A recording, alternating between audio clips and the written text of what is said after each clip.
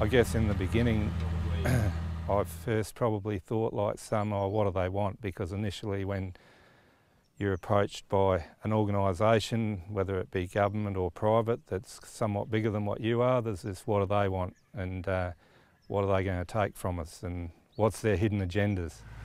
I just stay pretty neutral really. I just say what I see and what I've experienced. You know, I'm not into the politics of it, but I've seen the results myself. You know, it might take three waterings to get a really good result.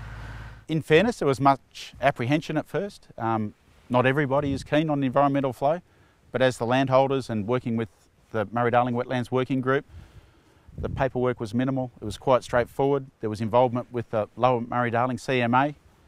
Um, and the enthusiasm shown by some of the staff at the Wetlands Working Group was fantastic. So it was very hard to say no in the end.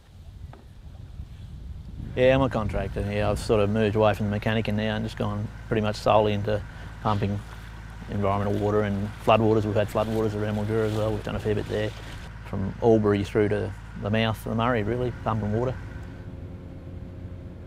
Yeah, I originally moved here from California to Cliff House Station here in New South Wales, one of the furthest corners of the state. And um, lucky enough to um, have met a fantastic Australian Jeez. man who became my husband. And we have this beautiful property which is located on the Murray River.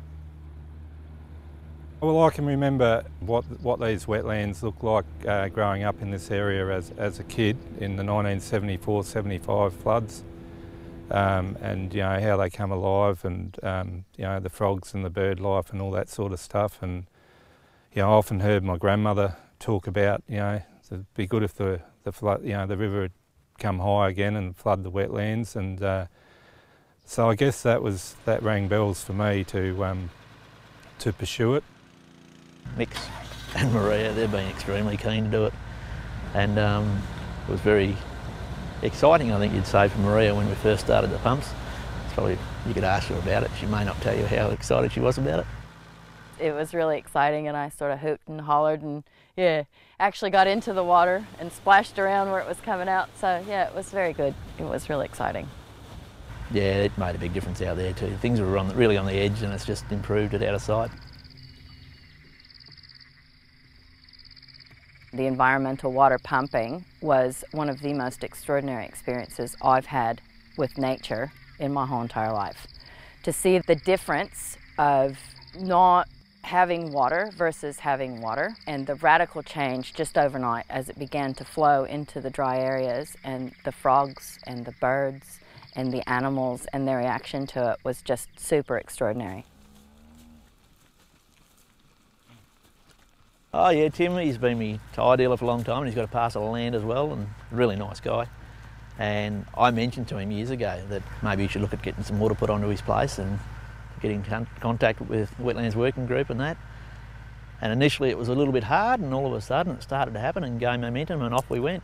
So we stuck a pump in there and put some water in and the results were just, within six weeks you could see the trees were pretty happy about it and yabbies back in the lagoon and just it just changed the landscape overnight.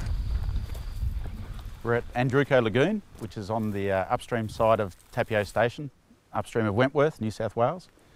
This first property we bought uh, approximately 20 years ago and uh, we, we all worked very hard, we still work very hard, but we thought it was time we had some quality in our life and, and hence we purchased this river property. Um, my dad is in his mid 70s I'm approaching 50 rapidly and my son Jack is 18. I have another son, another, uh, I have a daughter, Holly as well. Um, we love this property and uh, certainly we run it as a business. Uh, it's about dollars and cents, but some parts of this property, such as the environmental flows into Andrewko Lagoon, are not about dollars and cents. They're about quality of life, uh, enduring uh, quality of the property and making sure the property is right for another three generations further on after these three are gone. We have no, uh, no intention whatsoever to make a short-term gain from this property. We're in it for the long run and things such as environmental pumping and environmental flows have been fantastic for that. Billabongs somewhat act as a kidney to the Darling River. Uh, they help flush out the Darling, they help keep it clean, they keep the, the birds, the fish, all that going. Uh, it stimulates the environment. When we, when we pumped the water in, we noticed a huge change in the yabby population, which was really good to see. um, whether they'd been under the soil for the years past or whether they'd come in with the water. The change in the environment has been dramatic. It's a happier place.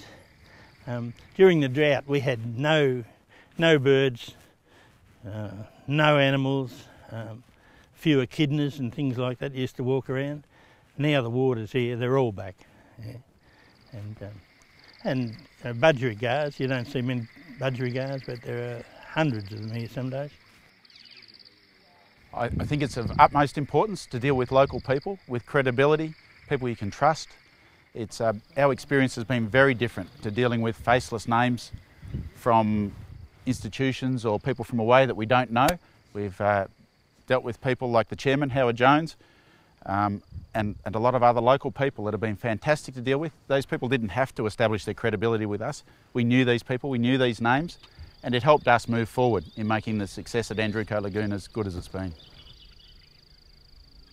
To have a family like the Mills uh, get involved as enthusiastically as they have uh, on a site like this, it's a very important message that you can work together as a group of people to, to achieve uh, some good environmental outcomes. Uh, even in the challenge times when we started here, um, uh, this is a natural flood. Uh, we pump water into here prior to that uh, with donated water, I might add, local donated water. So it's just, it's turned the full cycle as far as I'm concerned. They've expressed the interest, um, the ability to, to meet that interest and uh, was there. Um, and it just proves the point if you drill down to, to local communities again, uh, which seems to be the theme at the moment, um, it works. Uh, in this case, it's working beautifully. Um, and I'd encourage any other person who has properties on any of the rivers here, the Murray or the Darling, uh, if you think that that would uh, uh enhance your life and your, your country, um, get in touch with us.